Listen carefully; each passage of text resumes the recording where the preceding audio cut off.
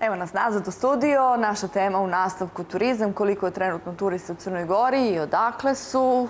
Pitamo našu gošću, gospođu Aleksandru Gardašević-Savuljicu, generalnu direktoricu direktorata za razvojne politike u turizmu Ministarstva ekonomskog razvoja. Dobro jutro i dobro nam došli. Dobro jutro, Bojane, i vama.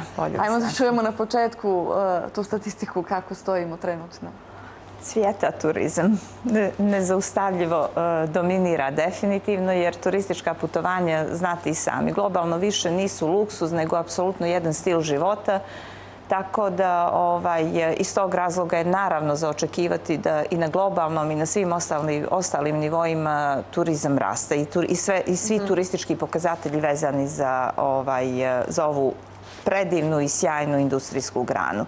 Što se tiče Crne Gore, ovaj, ja ovdje ispred sebe imam eh, podatke nacionalne turističke organizacije Crne Gore. Inače, praksa je da se svakog četvrtka objedinjuju podaci, prikupljaju od strane lokalnih turističkih organizacija i hotela. Da ste me zvali samo par sati i kasnije, ja bih vam mogla dati e, današnje podatke jer se e, prikupljaju oko podna. Tako da u ovom trenutku baratam sa podacima od 11.5. E, broj turista je oko 40.000, odnosno 39.000. Poraz broja turista i u hotelskom i u privatnom smještaju, znači u svim oblicima smještaja definitivno. Tako da je ovaj, izražen i naravno, e, naravno povećanje broja, e, procentualno povećanje broja turista i u odnosu na prošlu i u odnosu na 2019. godinu. Cifre su odlične. E, znači, ukupni također namjenski prihodi rastu, što je jako dobro. E, znači evidencija je bolja. E, to isto tako, to znači da će i da se smanjuje i siva zona poslovanja, apsolutno. I kada već pominjem to, zaista ovaj, ne bih da ispustim i da kažem da u Ministarstvu ekonomskog razvoja i turizma e, intenzivno sprovodimo e, obuke koje se tiču fiskalizacije gdje e, pokušavamo da što više e, što više subjekata uvedemo u, ovaj, da kažem, normalno, uslovno mhm. rečeno, normalni sistem poslovanja. Imamo još neke podatke koji se tiču ovaj, boravka turista po opštinama. Budva naravno dominira, kao mhm. što je to i za očekivati. Međutim, interesantan je trend porasta broja turista u Podgorici, što znači da glavni grad grad ipak e, znatno poboljšava e, svoju ponudu i tu imamo znatan ovaj porast. Struktura gostiju je također interesantna. Znači, vi znate da su nam e, tradicionalno, e, tradicionalni gosti, gosti iz regiona, međutim, sve više imamo gostiju sa visokoplatežnih tržišta, imamo Njemce, gosti iz UK-a, iz Izraela, iz Francuske i tako dalje tokom ljeta, znači na početku sezone pa nadalje, očekujemo dolaza gostiju i sa drugih visokoplatežnih tržišta. Mhm. Dakle, e, neće biti e, samo e, region koji čini onako veći dio turista koji posjete Crnu Goru. Da, da, da. Pa u tome je point, jer Crna Gora je zemlja koja treba da se fokusira na visokoplatežna tržišta, kao što sam rekla, na visokoplatežnog, zahtjevnog gosta i prema takvom gostu treba u principu da se formira i ponuda. Shodno tražnje visokoplatežnog gosta treba formirati ponudu, diverzifikovati ponudu i to je to što očekuje u krajnjoj liniji Evropa i sve bogate zemlje od nas što očekuju. E, takve goste treba što duže zadržati na destinaciji i, e, jer takvi gosti prosto više i troše. Tako da je ovaj, to neki trend i neka, da kažem, strategija kako joj idemo. Dakle... Ovdje, ja se izvinjavam, ovdje mislim na goste recimo iz Izraela, Mislim na goste sa Bliskog istoka, jer ćemo imati još e, veće povećanje gostiju sa Bliskog istoka. Oni su našem, taj region je u našem fokusu, jer je to zaista region za koji se e, svaki dio svijeta bori i imamo, imamo jake ovaj, veze sa njima, kampanje koje sprovodimo na tom tržištu i zaista se trudimo. Dakle, one tvrdnje da će ovo zaista biti najbolja sezona uh, do sad stoje. Koliko ćemo zaraditi? Možemo li to sada znamo? E, zna se da u ovom trenutku ne možemo da naravno, e, naravno baratamo sa preciznim ciframa, vi znate i kada se, ovaj, kada se, kada se taj obračun vrši, ali i kako je ministar najavio, očekivanja su da ukupni prihod bude e, ne manji od 1,3 milijarda eura. To su očekivanja i definitivno ćemo ovaj, prevazići i premašiti prihod koji je ostvaren e, u rekordnoj 2019. godini.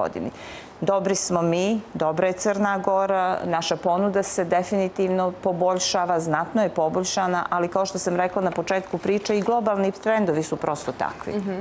Šta vam kažu hotelijerija, šta uh, oni iz privatnog smještaja, šta ugostitelji? I u jednom i u drugom obliku smještaja postoji povećanje. Povećanje broje turista. U principu su zadovoljni trenutnom situacijom, međutim što njih brine, a što je i aktuelna tema ovih dana, su problemi sa radnom snagom, kao što znate. Je li se nešto promijenilo? Intenzivno. Ko radi sad na našem primorju? Intenzivno komuniciramo sa institucijama na temu, na temu rešavanja problema radne snage. Znači, održavaju se sastanci sa, eh, i sa upravom policiji, i sa MVP-om. Eh, znate, i bilo je u medijima, medijima postoji tendencija da se, dovedu, eh, da se dovede radna snaga iz Indije, Nepala, Filipina i tako dalje. Međutim, ipak se treba na neki način dati prilika, prilika našim ljudima. I e, jednostavnije je dati, dati priliku ljudima iz regiona, ali ono što nije jednostavno su jako složene i opširne procedure koje traju prilikom rešavanja radnih dozvola i to je nešto na čemu se radi i intenzivni sastanci su upravo u tom smislu dešavaju da se proces skrati, da se proces ubrza. Međutim, moram da podijelim s vama i činjenicu da E, hotelijeri, evo, lično, lično sam ja imala razgovor sa njima, e, nude, nude poslove. Nude poslove recimo e, za kuvara e, hiljadu i po eura. Nude posao, nude posao spremačici 700 eura sa obezbijeđenom hranom, smještajem i sl. Ljudi to redovno odbijaju. I to su ljudi koji se nalaze na birovu, tako da mislim da i tu treba uskladiti neku politiku. Jer znate kako i u drugim zemljama jednom ili već ne znam koliko puta se odbije posao koji, koji vam se nudi preko biroa i onda je diskutabilan i vaš status na birovu, čini mi se. Tako da je više, više faktora tu u To su generalno problemi koji su poslednjih godina e, izražene. Čini se taj sa radnom snagom ove godine nekako eskalirao zbog toga što ljudi iz Crne Gore koji su inače radili u turizmu odlaze u Hrvatsku zbog veće, veće plate oni iz Hrvatske idu dalje i tako to je neki lanac. Da. E, problem sa radnom snagom je eskalirao u stvari tokom COVID-a. Jer kada se desio COVID, onda su poslodavci masovno otpuštali radnike. I tada se desio taj e, krah e, sistema e, radne snage, ako tako mogu da kažem. I tu, su se, tu se desila destabilizacija na, na tržištu radne snage. Tako da je u stvari to posledica covid i posledica turbulencija koje su se desile u tom periodu. E, infrastrukturno e, teško isto možemo da, da odgovorimo i onda se tu postaja pitanje da li će nam se taj bogati gost vratiti ako bude iznerviran jeli, zbog velikih gužu i čekanja u kolonama i tako dalje. E onda dolazimo na drugi naš problem, a to je e, aviopovezanost i da smo bolje aviopovezani. E, ne bi imali ni toliko automobila u toku ljeta na, na, na crnogorskim cestama. E, je li se tu nešto desilo ili će se desiti? Evo, maj je mjesec, već odlazi, jun je maltene tu. Da.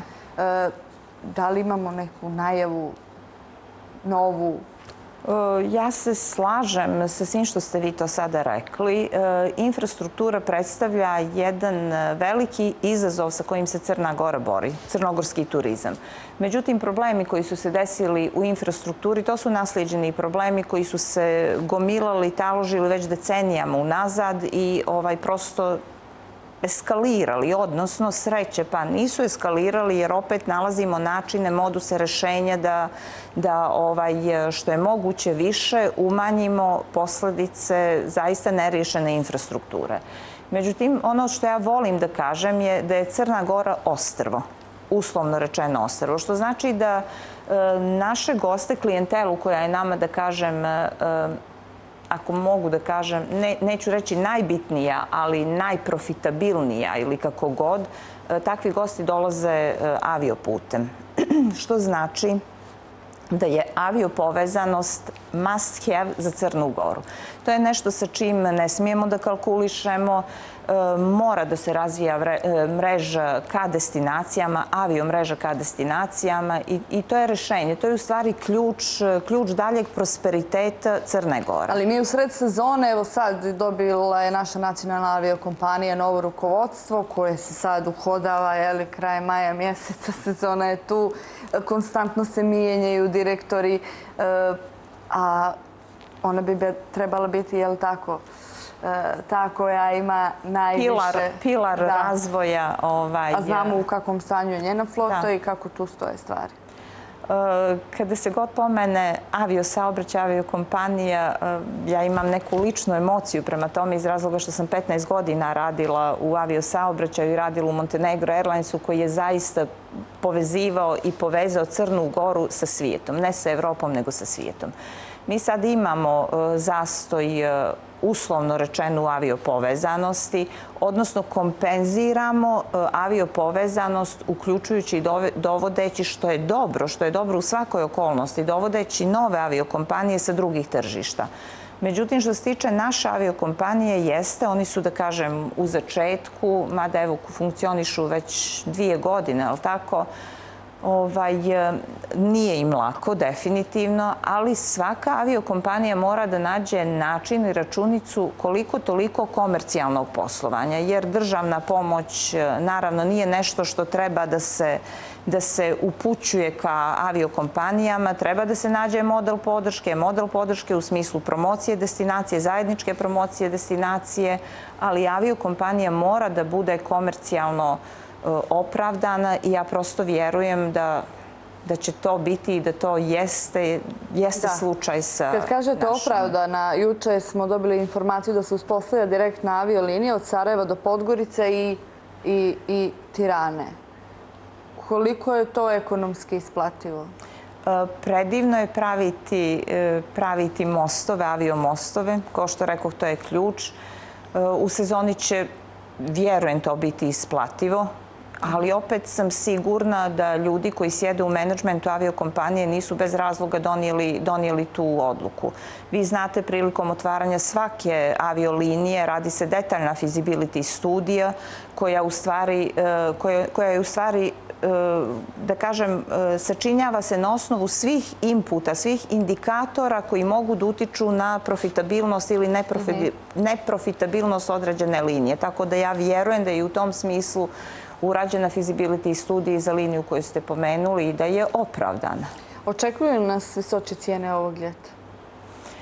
E, kada su cijene u pitanju... Ranije su bile najavi do 30% da će biti skuplje. E, kada su cijene u pitanju, vi znate da su one u vezi u korelaciji sa inflacijom. Ono što je zaista Ministarstvo ekonomskog razvoja i turizma uspjelo da uradi je da znatno snizi stopu inflacije sa aktivnostima i kampanjama i velikim trudom koji smo uložili u proteklih par mjeseci. Tako da je to poprilično stabilizovalo tržište po pitanju cijena. Ali opet s druge strane, ja sa pozicije institucije u kojoj sjedim, ja vam ne mogu dati precizan odgovor, jer što opet cijene odraz, e, odraz, e, mislim, formiraju se tržišno, tržište je slobodno i formiraju se na bazi ponude i tražnje. Tako da mislim da je ovaj, svim stakeholderima koji su uključeni u turistički lanac od interesa da te cijene budu realno formirane da bi prosto i ovaj, popunjenost kapaciteta bila adekvatna, da bi promet bio adekvatan i da bi prosto i poslovanje bilo na neki način i pozitivno.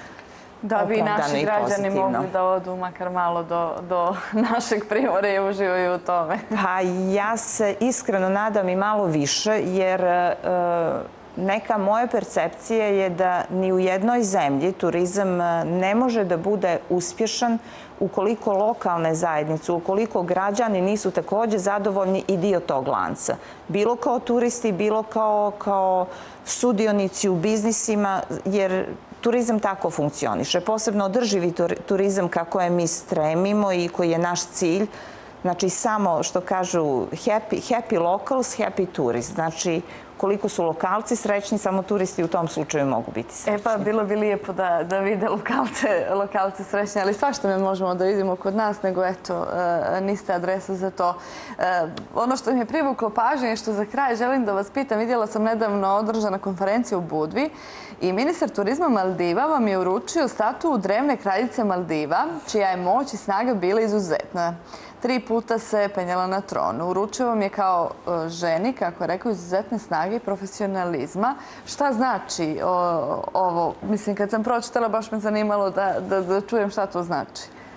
E, to što se desilo, e, desilo se na završnici konferencije, na ceremoniji zatvaranja i bukvalno sam ovaj, bila toliko srećna i toliko ponosna što sam dobila tu nagradu i zadovoljna što je jedna persona kao što je ministar turizma Maldiva, znači destinacije koja je broj jedan turistička destinacija na svijetu, prepoznao moj profesionalizam i kvalitet.